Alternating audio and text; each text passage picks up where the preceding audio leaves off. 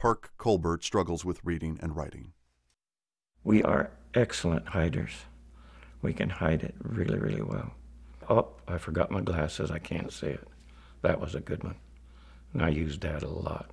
Anger is a good way to hide it because that is a way to get out of it to where you're not embarrassed and don't have to get caught. My life has definitely changed and for the better. I can go get my driver's test. I can go to a doctor's office. Can fill out the forms. It's a horrendous lift off your shoulders not to be on guard every minute, to thinking something's you're going to have to read or somebody's going to put a form in front of you or something. I didn't vote right off the bat into the program. I waited for a while. I wanted to be a responsible voter, so I waited till I could actually study uh, candidates and knew what I was doing.